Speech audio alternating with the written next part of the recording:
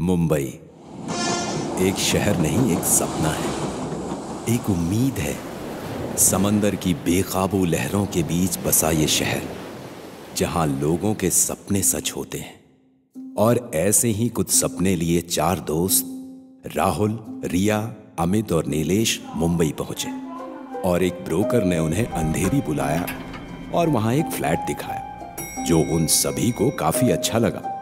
Flat number 720 उन्होंने घर की साफ़ सफ़ाई कराई और आराम से वहाँ रहने लगे और उन्हें एक कॉल सेंटर में जॉब भी मिल गई। चारों एक साथ जाते और घर आते और फिर उन्होंने एक काम वाली बाई रखी जो उनके घर की साफ़ सफ़ाई करती। कुछ टाइम बाद घर में अजीब हादसे होने शुरू हो गए। अचानक घर की लाइट्स ऑन ऑफ़ हो जाती। रेडियो स्टार्ट हो जाता। सभी को लगा कि शायद इलेक्ट्रिसिटी की प्रॉब्लम है।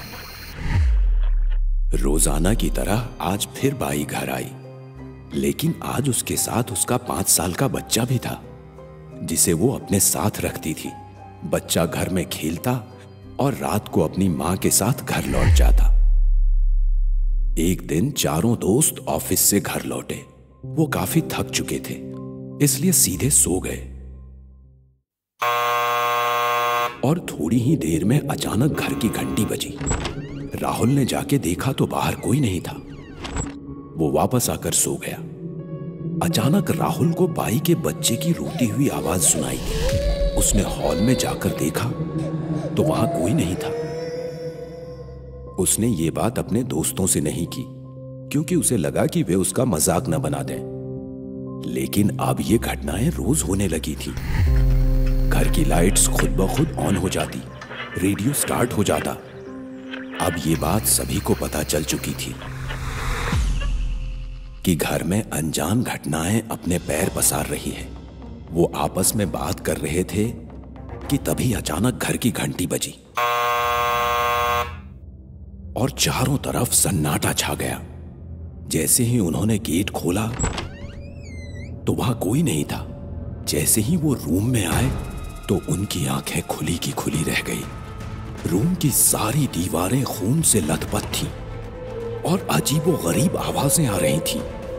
वो दौड़कर हॉल में आ गए और काफ़ी देर बाद जब वो रूम में गए तो देखा कि वहाँ कुछ नहीं था। दूसरे दिन उन्होंने मकान मालिक को फ़ोन करके सारा किस्सा सुनाया। मकान मालिक ने उन्हें दिलासा देते हुए कहा कि ऐसा कुछ नहीं है। ये तो बस उनके मन का भ्रम है। ये कहकर फ़ोन कट कर दिया। अगले दिन जब राहुल और अमित घर पहुँचे तो देखा कि बाई का बच्चा घर में खेल रहा है। लेकिन बाई कहीं नहीं थी।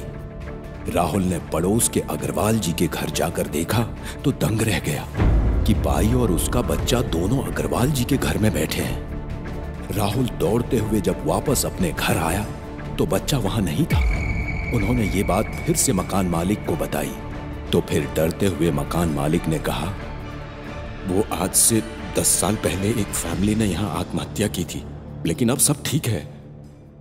अगले दिन राहुल और रिया जब ऑफ़िस से घर लौटे तो उन्होंने जो देखा वो देखकर काफ़ी डर गए।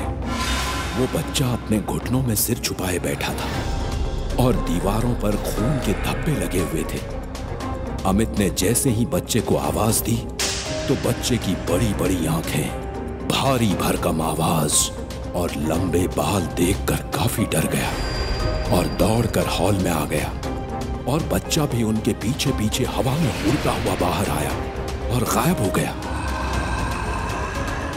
राहुल और अमित इतने डर चुके थे कि इनके मुँह से आवाज़ तक नहीं आ रही थी और उतने में दबे पाँव से अमित ने दरवाज़ा खोला और देखा कि बाई आई है। घर की सफ़ाई करने। बाई को देख दोनों को काफ़ी गुस्सा आया और उन्होंने बाई को काफ़ी खरी खोटी सुनाई उसके बच्चे को लेकर। लेकिन जो बाई ने कहा, वो सुनकर तो वो और भी डर गए और बाई ने कहा, मेरे बेटे को तो मरे हुए दस साल हो चुके हैं तो वो आपके पास कैसे आ सकता है?